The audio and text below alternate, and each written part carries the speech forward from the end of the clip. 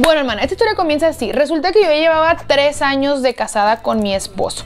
Yo la verdad no es por presumir, pero yo sí era una buena esposa, era una buena mujer, era muy cariñosa, yo era muy atenta con él, lo trataba re bien. La verdad es que yo sentía que yo pues hacía un buen papel de esposa. Pues entonces, al principio, ya sabes, las relaciones son muy bonitas, pero después, pues ya vale todo. Él se dedicaba a la instalación de cámaras, así en casas, en tiendas, en todos lados. Entonces yo para ese momento, en ese momento que llevábamos tres años de casados, yo no trabajaba porque apenas estaba por titularme. Él sí trabajaba, pero yo le ayudaba como su secretaria. de cuenta que yo le contestaba a los clientes, le hacía las citas, le agendaba las citas, le decía, le decía dónde tenía que ir. O sea, yo me encargaba como que del área administrativa, por así decirlo, y pues lo apoyaba. Y pues yo me encargaba de la casa, ¿verdad? Atenderlo a él. Él tenía dos hijos, entonces que no, no, no son míos ni, ni nada. O sea, él, él los tuvo con otra señora. Entonces, pues ellos vivían con nosotros. Bueno, hermana, para ese entonces yo me hice muy amiga de una chava que se llamaba Verónica. Así le vamos a poner.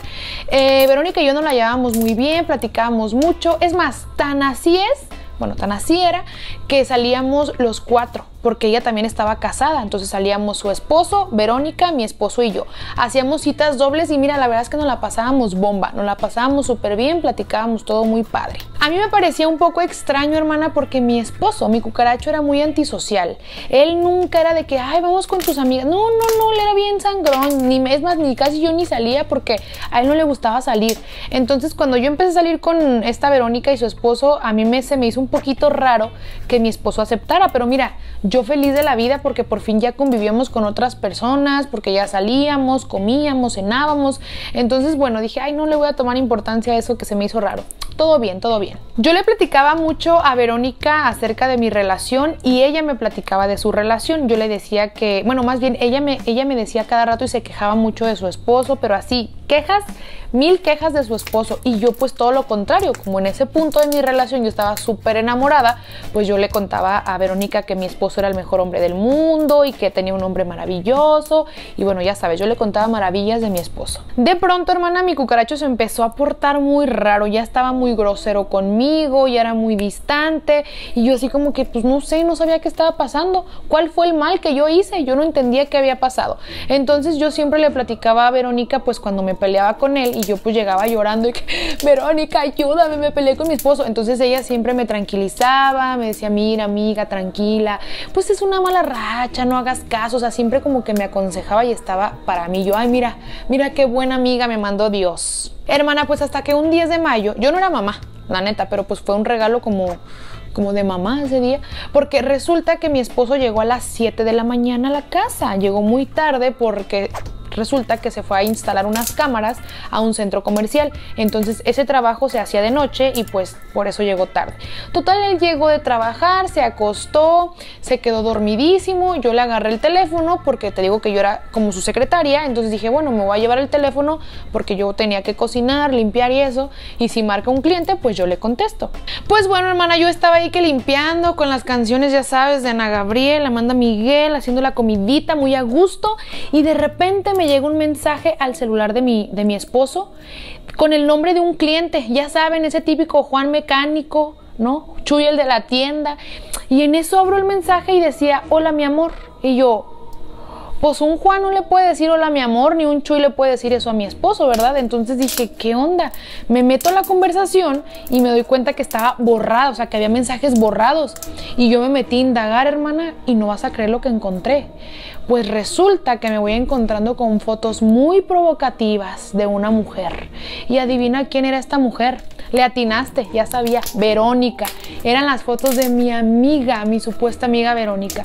Yo en ese momento, hermana, yo no sabía qué hacer, yo estaba volviendo loca, yo me quedé helada, no sabía, no sabía ni qué hacer, así que decidí ir a despertar al cucaracho para confrontarlo. Hermana, pues llego, lo despierto, mira, pero a golpes. No, no se crean, almohadazos, lo desperté. Yo le dije, a ver, ¿qué significa esto? Obviamente, como todo digno de cucaracho, me negó las cosas y me dijo, no, estás loca, ¿cómo crees?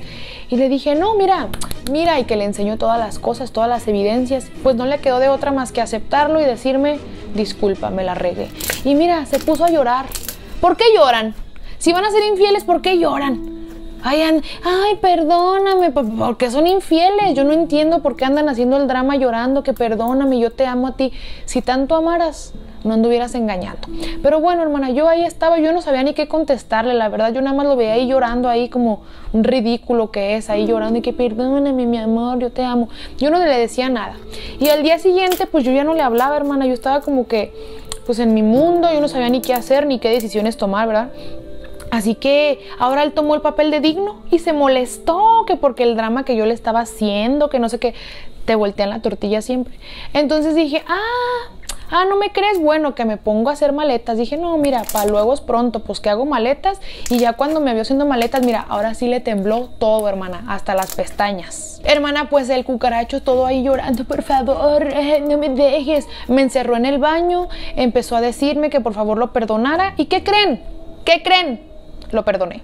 Sí, hermana, mira, no me juzgues. Todas hemos, bueno, espero que no todas, pero pues sí, muchas ahí cometemos el error, ¿no? Que por amor, que va a cambiar, porque te juran, te bajan el cielo las estrellas de que van a cambiar y no es cierto, hermana, no cambian. Pues bueno, total, que yo dije, ok, te voy a perdonar, pero hermana, para esto yo contacté al esposo de Verónica para contarle todo lo que había pasado. No, mira, aquí sufrimos todos, o todos coludos, ¿sí se dice así? Sí, o todos rabones. Así que decidí contarle todo y le dije, mira, así pasó, papacito chulo, tu esposa ahí anda mandándole fotos a mi esposo y pues como que andan saliendo. Él tampoco lo podía creer, así que decidimos estar, estar en comunicación, mantenernos en comunicación por si algo raro veíamos o algo sospechábamos, pues nos avisáramos rápido Yo me puse muy mal con esta situación que estaba viviendo y Rubén, el esposo de Verónica, él trataba como que de consolarme y hacerme sentir bien, hermana. Y así duramos un tiempo hablando hasta que yo dije, no, ¿sabes qué? Esto está mal, porque yo ya sentía que las cosas estaban confundiendo y le dije, ¿sabes qué, Rubén? Creo que lo mejor es que nos separemos porque siento que ya se está mezclando algo aquí raro. Y hermana, pues nos dejamos de hablar. Con los días yo veía que Verónica seguía buscando a mi esposo, hermana.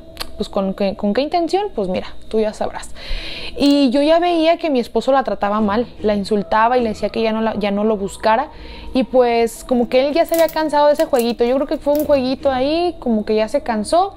Y pues Verónica también se cansó pues de que mi esposo la estuviera humillando, ¿verdad? Entonces pues ya decidió dejarlo. Un año después de esto que sucedió, hermana, Rubén, el esposo de Verónica, me buscó para saber cómo estaba. Yo la verdad es que decidí no contestarle porque la verdad sí es muy guapo. Entonces yo no quería confundirme ni mezclar emociones o sentimientos con él, pues porque yo quería salvar mi matrimonio de alguna u otra manera, sin darme cuenta que ese matrimonio, hermana, ya no tenía solución. Hermana, pero todo en mi casa empezó a empeorar. Eh, mi esposo ya era muy raro, él era el que trabajaba, o sea, yo ya para este punto ya trabajaba, pero él ganaba más, pero yo tenía que dar más dinero a la casa a sus hijos también, porque digo que sus hijos vivían conmigo, bueno, con nosotros.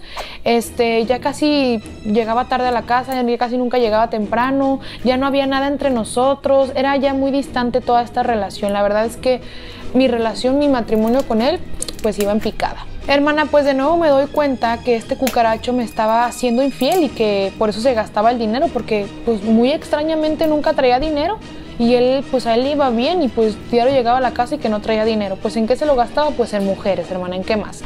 Pues total que yo decidí ya decirle que yo ya estaba cansada y hermana, esto te, te, lo voy a decir y creo que muchas mujeres van a estar de acuerdo. Cuando estás en una relación, un matrimonio, un noviazgo donde todo va mal, te empiezas a descuidar en muchos sentidos. Y yo empecé a subir muchísimo de peso, me descuidé muchísimo físicamente, me, ya estaba siempre desarreglada, ya no me gustaba arreglarme, como que ya me sentía en depresión. Así que un tiempo después, hermana, me buscó Rubén, el esposo de Verónica, para decirme que pues cómo estaba y me propuso que fuéramos amigos, a lo cual yo accedí. Pues comenzamos a platicar hasta que me invitó a comer. Yo accedí, salimos y hermana, a mí nunca se me va a olvidar la mirada de este hombre, de Rubén, el esposo de Verónica, cuando me vio.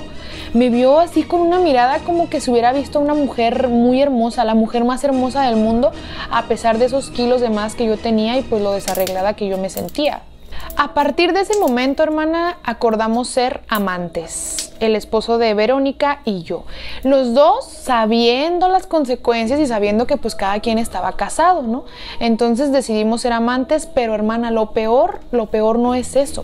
Lo peor es que a los meses yo ya empecé a enamorarme y empecé a sentir más cosas por él, más que pues ahí un revolcón. Yo ya sentía pues amor por él, así que me dio mucho miedo y le dije, ¿sabes qué? Lo mejor es terminar esto porque pues ya, ya no puedo más. Hermana, pues decidí confesarle mi infidelidad a mi esposo y él en venganza me confesó todas las veces que me había sido infiel. Lo cual, mira, ni me parecía raro, yo ya sabía.